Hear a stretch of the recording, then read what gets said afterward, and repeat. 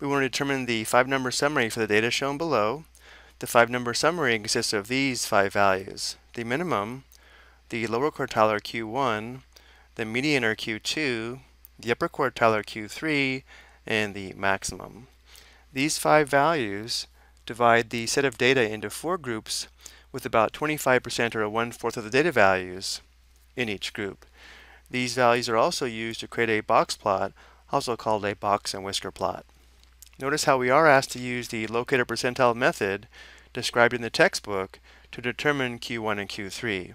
There is more than one method to determine Q1 and Q3, so we do want to make sure we use the correct method. The locator percentile method is not the same as the one used by the TI-84. So we don't want to use our calculator to find Q1 and Q3 because sometimes it will give us different values. Notice how the data values are in order from least to greatest, which we do need. Once we have them in order, we can easily identify the minimum and maximum values. Notice the minimum is 5, and the maximum is 27.8. Now let's find the median, which would be the data value in the middle. And because we have a total of 9 data values, or an odd number of data values, the median will be a data value in the list. It would be in the fifth position because notice how there are four data values less than 14.7 and four data values greater than 14.7. So again, the median is 14.7. There's also a formula that we can use to locate the position of the median if we wish. So for review, to locate the position of the median, if the number of data values n is odd, then the median is the middle data value. The position of this value is found by rounding n divided by 2 up to the next whole number.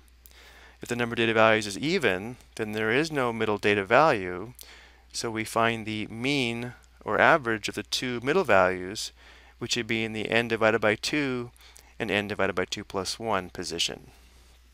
So in our case, because we have 9 data values, we would take 9 divided by 2, which is equal to 4.5, round this up to the next whole number, which would be 5, which means the median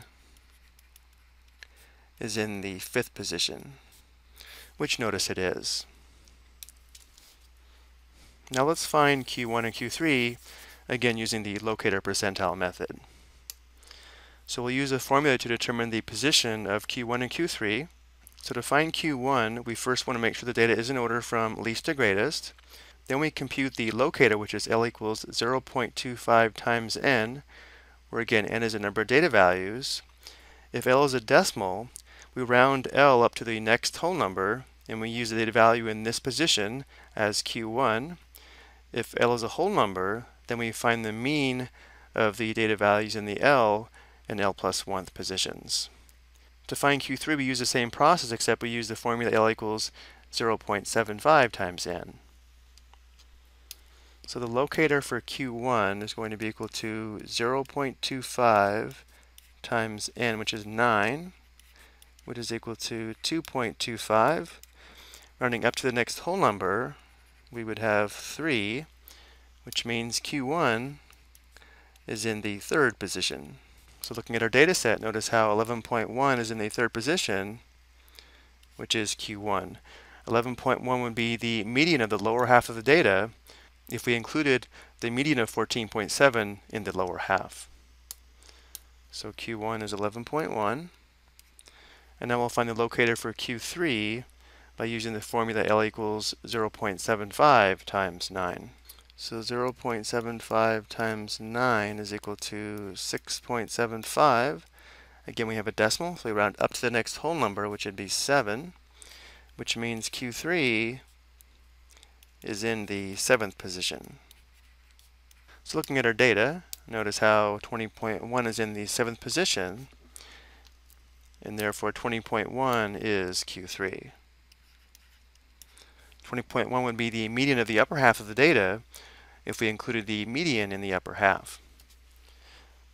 So our five number summary is 5, comma 11.1, comma 14.7, comma 20.1, comma 27.8. I hope you found this helpful.